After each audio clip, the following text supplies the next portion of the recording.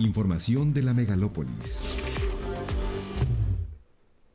Ya estamos de regreso y vámonos con más información. Agentes de la Policía Capitalina y Fiscalía volvieron a detener a Luis Ángel N. y su novia luego de cumplimentar una orden de aprehensión. Después, en audiencia en el reclusorio norte, un juez determinó que no había elementos para vincularlo, por lo que decretó su liberación. La madre de Luis Ángel señaló que su hijo no es colombiano y que fue golpeado el día de la detención. Vamos ahora con el Estado de México. Dos policías preventivos fueron vinculados a proceso por un juez de control por su probable participación en el delito de ejercicio abusivo de funciones.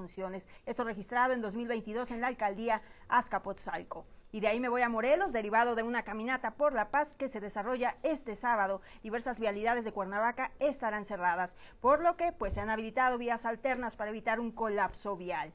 De ahí me voy a Puebla. La organización civil Alto al Secuestro reportó que el Estado se ubicó en la segunda posición, junto con dos entidades más, con el mayor número de secuestros durante el mes de junio. A nivel nacional, el delito de secuestro aumentó en 7.5% respecto a mayo y Puebla ocupó la segunda posición junto con Veracruz y Quintana Roo.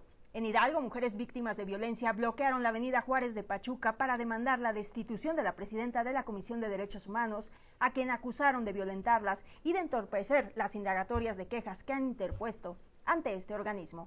Vamos con Querétaro. Francisco Narváez, exmilitar presuntamente ligado a la desaparición de los 43 normalistas de Ayotzinapa, fue detenido por policías ministeriales de la FGR en la zona centro de la ciudad de Querétaro.